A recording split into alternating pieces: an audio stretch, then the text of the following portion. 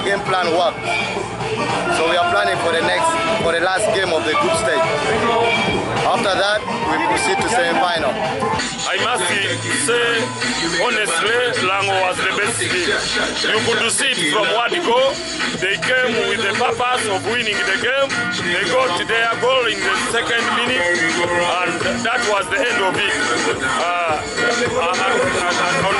I must uh, say the attitude of my team from what go was not uh, a winning uh, side, and uh, that is the reason why we lost this one.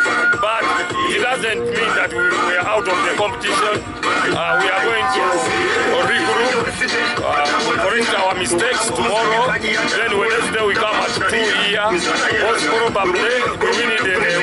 If we get a win, uh, we are we are going to qualify. Because now Lango is through. Now the battle is between Bugisu, West Nile, and Busoga.